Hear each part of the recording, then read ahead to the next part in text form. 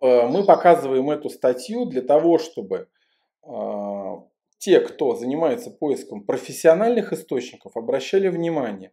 Здесь написано, что это Dental Press, то есть э, журнала. Скорее всего, это какая-то публичная версия журнала ортодонтии для неподготовленной аудитории. Об этом нам говорит само название. И второе, что полностью отсутствуют источники, прикрепленные к тезисам в начале. Третье – это сама структура статьи, которая построена э, как отдельные записи или э, есть такое слово, да, там топики, мне нравится в английское, как как небольшие фрагменты целой статьи, раскрывающие отдельные аспекты темы ну, вроде бы объединенные общей тематикой. И четвертое, то, что здесь по сути своей а, приведены аргументы, которые напрямую между собой не взаимосвязаны. Поэтому таким статьям доверять, конечно же, в процессе построения научной работы не стоит. И это бессмысленная история. Мы сделаем для себя тоже этот вывод, потому что, конечно, эта статья но если и войдет, как бы, то очень так, типа там не в первом эшелоне точно. Вот. Собственно, мы заканчиваем. Тут теперь заключение. Угу, заключение. Хотя она построена вроде бы как по, да, по структуре научной статьи или близко к ней. Поэтому давайте мотать дальше. Угу. Ортодонтическое движение может превратить э, рецессию в зону риска. И на протяжении всей этой статьи, видимо, потому что он был написан в ортодонтический журнал, то ли есть какая-то цель преследовать ортодонтическое лечение, что, в общем-то, на самом деле неправильно при его адекватном выборе, при планировании совместно с пародонтологом. Мы получаем абсолютно адекватный результат без рецессии десны, или мы их устраняем до э, установки брекетов, или мы решаем э, эти процессы в процессе передвижение зубов, потому что они могут наоборот задвигаться э, в зубную дугу, если они были где-то дистопированы вестибулярно. Поэтому вот этот тезис, ну, как бы, или заголовок, я бы с ним, конечно, не согласился. Я бы либо сюда написал, что э, неадекватное ортодонтическое лечение, а, вернее, знаете, может предотвратить э, рецессии десен в зонах риска. Ну, адекватное, наоборот. То, тоже, да, да, адекватное ортодонтическое движение. Да. Но вопрос, что такое адекватное ортодонтическое движение, тоже вызывает вопросы. Ну, то есть есть план, да, нам а очень часто все-таки ортодонтическое движение подразумевает а, выдвижение дуги в ширину, потому что основная проблема зубов все-таки не выдвижение их наружу, а наоборот а, скучивание. Ага. Поэтому, ну, естественно, там какой процент ортодонтов я не скажу, но, в общем-то, основной процент планов подразумевает э, выдвижение зубов вестибулярно по дуге.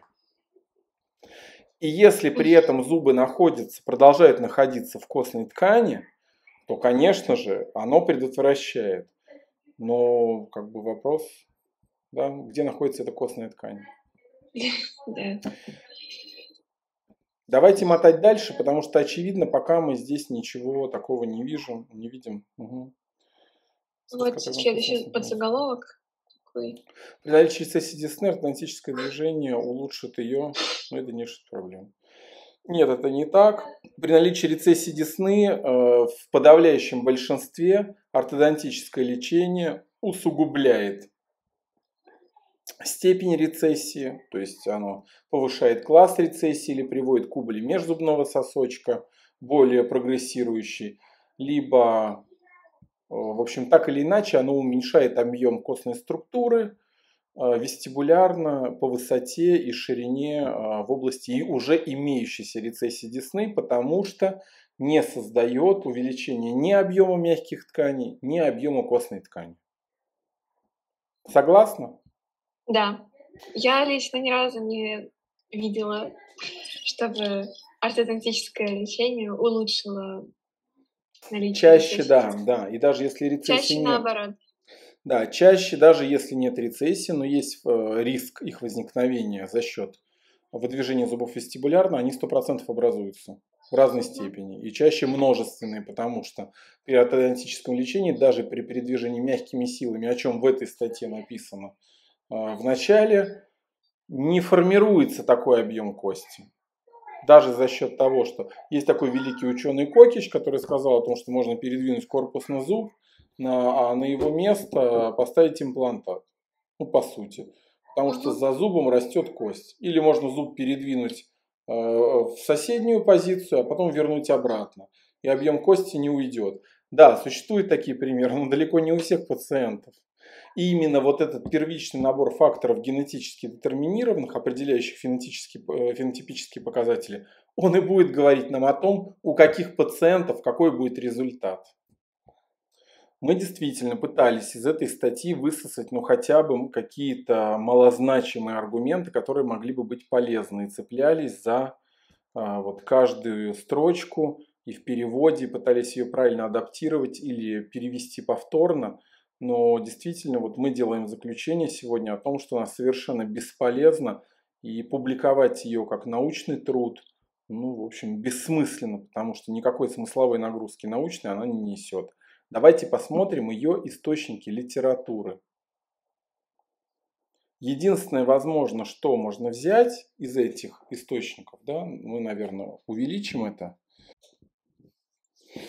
А, поскольку мы исследуем тему этиология рецессии десны, то статья первая «Соотношение между ортодонтическим лечением и здоровьем пародонта» нам бесполезна, потому что это ретроспективный анализ. Это обзорная статья. Да.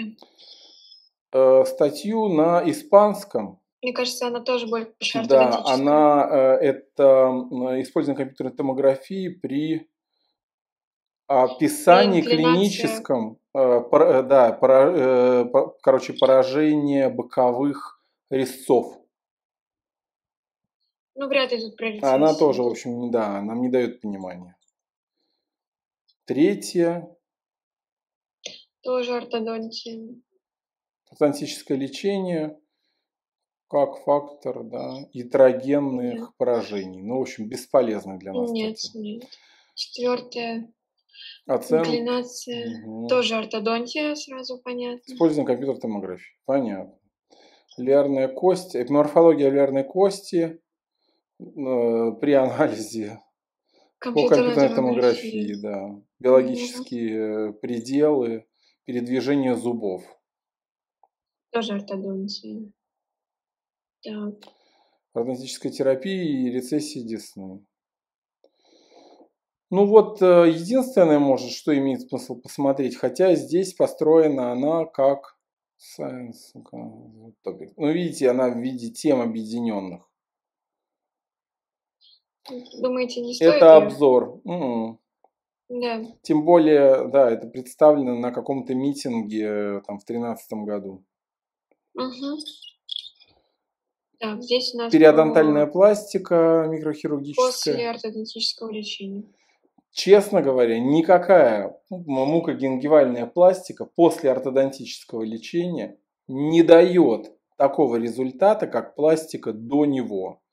Поэтому все попытки э, потом уже догонять уходящий поезд, ну честно, не увенчиваются успехом. Практически никаким. И чаще приводит к костной пластике, а не к пластике мукогенгивальной. Есть только какие-то отдельные, возможно, случаи, если это все-таки не серьезные рецессии, только локальные, потому что происходит, ну, то есть они дают какой-то эффект. Угу. Эффект изменения нижних резцов, да, при гингивальной рецессии. Нет. Это уже, да, то есть это методы лечения.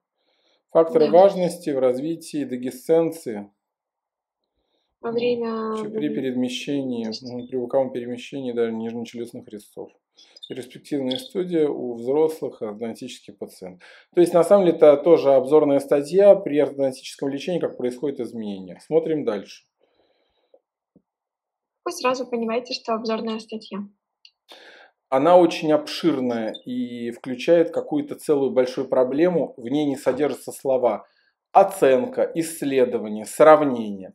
сравнение. Ага. Возможно, имеет смысл, э, как еще один из полезных навыков да, для тех, кто просмотрел вот данную часть нашего сегодняшнего эфира, начинать с источников, если статья показалась нам mm-hmm. интересной, а потом уже переходить к изучению статьи.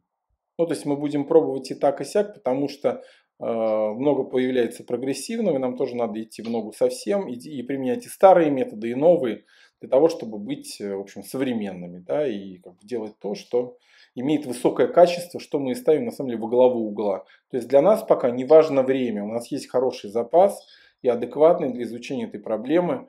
Ну, то есть мы э, спешим, но очень мы торопимся, так скажем, но не спеша. Не спеша. Комбинация ортодонтического перемещения и пародонтальной терапии при полном закрытии корня при третьем классе рецессии. То есть здесь, скорее всего, а, нет темы про причины. Да. Это кейс-репорт один, который мы наблюдаем 12 лет. Это у одного пациента. Ну, как бы здорово, молодцы, что они закрыли третий класс. Скорее всего, оперировали до, а потом уже применяли ортодонтическое лечение. Угу. Рецессии можно ли вылечить? Да, то есть достижение, э, кейс-презентация отдельная какая-то, то же самое. Да. Угу. Компьютерная томография различные разрешений, которые да, с закрытием кости на нижнечелюстных боковых передних зубах боковых зубах. То же самое. Не то. Угу. То же самое. Менеджмент, все пока лечение, лечение. Да, да. Изменение, inclination, то же самое. То же самое. Анатомия, да, пожалуйста. Имплантология вообще у нас пошла.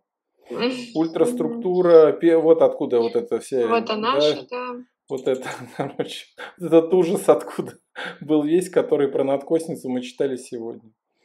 Изменение маргинального периодонта. Опять обезьяны, ура! У нас давно не было обезьян. Мы изучали в турецкой популяции в прошлый раз. И вот, наконец-то, мы получили, да, на боковых зубах. У них действительно нагрузка жевательная другая, и у них очень высокая стираемость зубов. В сравнении с человеческим, потому что у них другая форма и линии прикуса, и механика вообще движения. Поэтому даже если мы отбросим классическую гнатологию, то как бы у них просто высшая стираемость. Э, так называемая антогенетическая, то есть в процессе своего развития и жизнедеятельности у них выше стираемость у обезьян, поэтому их сравнивать вообще бессмысленно, у них другие нагрузки. Понятно. Ну и тут все Ну, 18 то же самое, 19 тоже опять про. Ну вот, собственно, и все. Вот так сегодня был бесполезно потрачен нами вечер на изучение. Ну, наконец мы добили эту статью.